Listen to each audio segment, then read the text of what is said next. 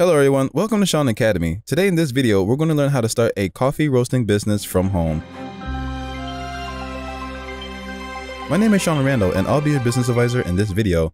Now before we start your coffee roasting business, let's learn more about the coffee industry so that we can know what we're up against. According to BrandonGaille.com, the coffee industry is a 30 to 32 billion dollars a year industry, increasing at an average rate of 20% per year. Specialty coffee alone makes up almost 10% of the market. Coffee statistics show that among coffee drinkers, the average consumption in the United States is 3.1 cups of coffee per day. The following statistics about consumption and market share are outlined below. Average coffee consumption in the United States. According to Specialty Coffee Association of America and coffeeresearch.org, the following consumption rates with coffee exist in the United States.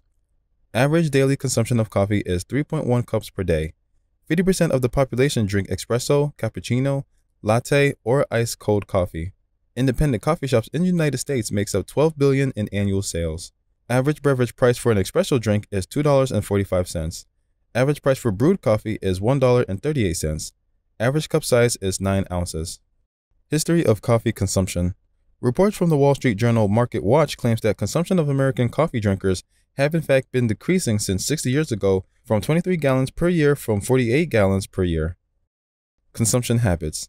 65% of people drink coffee at breakfast, 30% of people drinks coffee between meals, 5% of people drink coffee after meals, 35% of people prefer black coffee, and 65% of people prefer sugar and cream. And the average amount spent each year is a total of $164.71.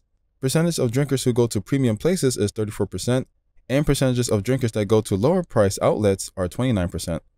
Average age of consumers.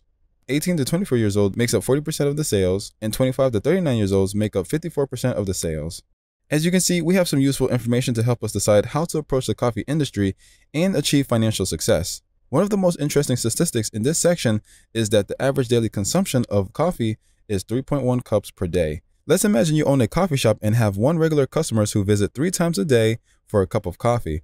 Let's imagine you're selling premium specialty coffee for $7 per cup.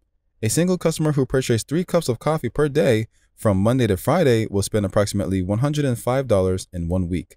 Your earning potential is boundless, and scaling your coffee roasting business is very achievable. When starting a business, you should plan ahead of time.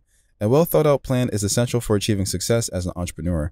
It will help you in mapping out the particulars of your business and uncovering some unknowns. Here are some of the few important matters to think about. 1. What are the initial and ongoing expenses? 2. Who is your intended audience? 3. How much money can you charge your customers? 4. What will you name your company? You will also need to understand the cost of starting a coffee roasting business. The startup costs for starting a coffee roasting business are substantial. Aside from commercial space, business owners must also buy a coffee roaster, green coffee, packaging supplies, a POS system, labels, a heat sealer, and a coffee grinder. Businesses will also require a computer and internet access to accept orders, as well as vehicle for delivery. By planning ahead of time and making preparations, you will increase the likelihood of financial success. If you find this video helpful, click on the like button to show your appreciation.